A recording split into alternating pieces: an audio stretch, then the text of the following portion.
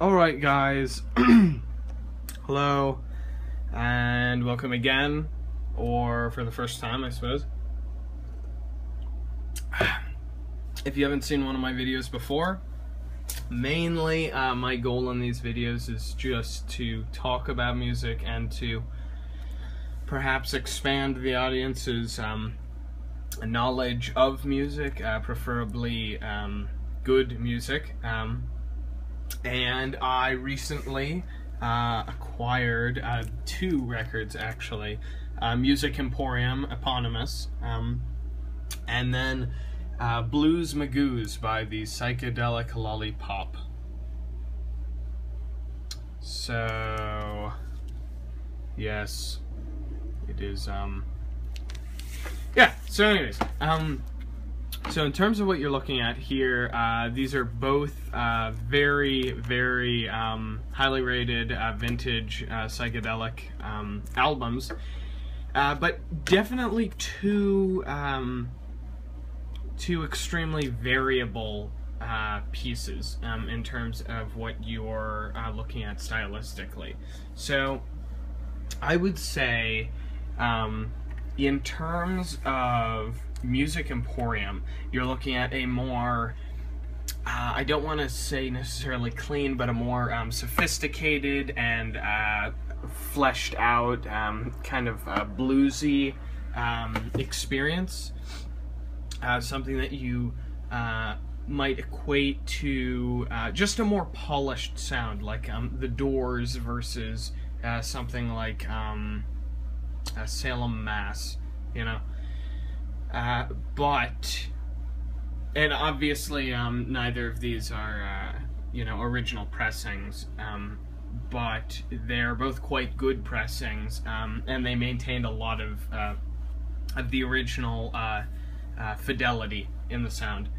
So yeah, so Music Emporium definitely, um, and then again, this is uh, you have to take that with a grain of salt because this is in comparison with Blues Magoos, which is a much more um, gritty kind of garage uh, rock rock sound to it.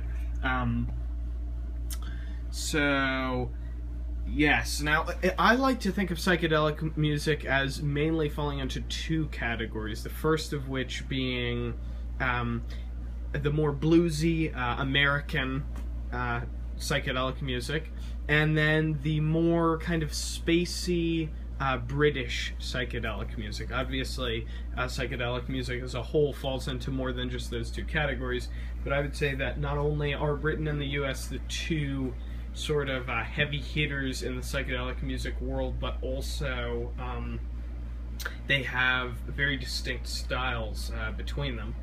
So, yeah, so so having said that, then the the Blues Magoos album is just a solid, very nice take on the genre. Um, but that this is uh, certainly a more um, uh, you know gritty, uh, very much garage, very much. Um, uh, very much, I don't want to say more experimental, but just it, it feels as if you're listening to something live as opposed to perhaps more of a studio recording.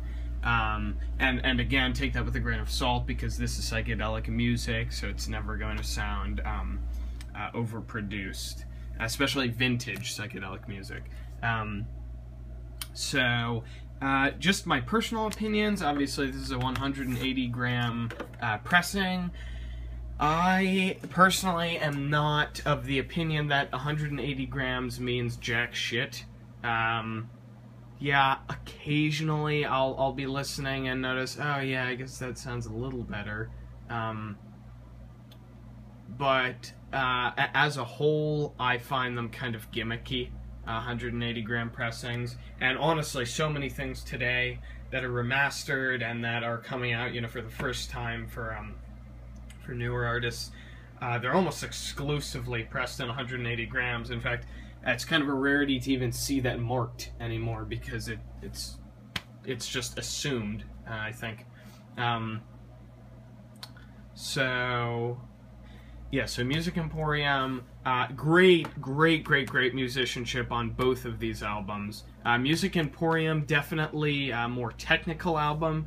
Um, the players are are really sort of uh, showing off their chops um, in a lot of places, and it almost it almost falls more into the prog uh, side or the uh, the more bluesy side um, with more kind of extended tracks that uh, that are very solid, but um, perhaps more, um, as I said, uh, perhaps more um, psychedelic pop.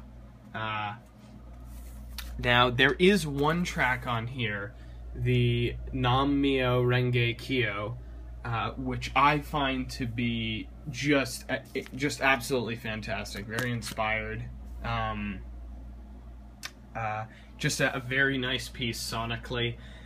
Um, it involves some more tribal elements. I feel like uh, it almost uh, at times feels like you're listening to something which originated in a more African um, dialect.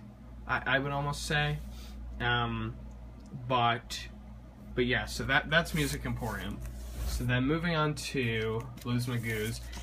This is what I traditionally think of when I think of psychedelic music. It is just glitzy, dripping off of the the lava lamp with LSD sunshine, you know, uh, shimmering through a cracked cocaine, cracked cocaine window. I, I mean, it's it's just, and you can even see. I think the cover actually, kind of hilariously, is is so fitting because there's the the picture of the band, and then superimposed on top of that is uh, this kind of um, floral, uh, just psychedelic um, display, and that's very much what the album is like because uh, it's just much more out there, grungy. Um, it's much more feeling based um, than technique based, although the band is is is, is uh, quite talented and um, and that shows in the music. And uh, yeah, it just feels like you're really going on a trip. Um, this feels more like um, I'm listening to an amazing piece of music, uh, but completely sober. Um, and this piece of music feels like, you know, I just jumped off of the deep end and there is no coming back. So, Blues Magoos. Um, absolutely uh, would recommend 10 times out of 10 um, for uh, for for a good listen when you just you really want to feel um, you know I, am sorry if that doesn't make sense to you but uh, for all of you who, who do know what I mean, uh, who have really experienced a piece of music before, that that is definitely what you're looking at here. Um, uh, before uh, in prior videos, I've tried to unbox it because these are uh, these are obviously repressing, so they are they're they're still in the uh, the cellophane, and then play them. Uh, I don't. I'm not going to do that. It's it's a lot of work, and and the setup that I have now doesn't really make that very conducive. Um, both of these albums, they're uh, music, um, Emporium, and Blues Magoos, pretty, I, I don't want to say obscure, because they're, I, I personally have done um, days and days worth of uh, research into the most obscure psychedelic music that you uh, could ever imagine. And these, I wouldn't say these are on that level, but, you know, they're, they're not too common. You know, certainly not like the Doors. Um, especially Music Emporium.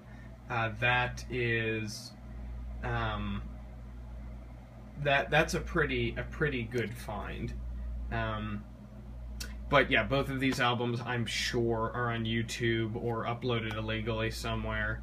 Um, but yeah, I, I would absolutely recommend giving them a lesson. Once again, that is Music Emporium, eponymous by Music Emporium, and then Blues Magoos by Psychedelic Lollipop. For some reason, I've also seen them go by the psychedelic lollipops. Um, I, I, don't think it necessarily matters which one you type into the search bar. I'm, I'm sure it'll pop up. Um, And then in terms of what's on the back, we have a picture of the band band here.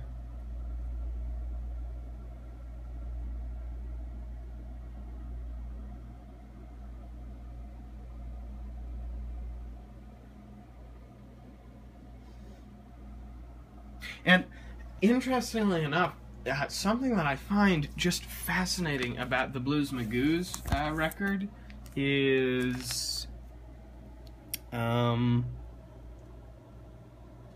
how early this record came out. What, from what I found, the vast majority of psychedelic music was produced between, um, at the very, very early end, 1967. Um, honestly, I would say more like 1968 up until 1971, 1972, maybe going as far as 1975.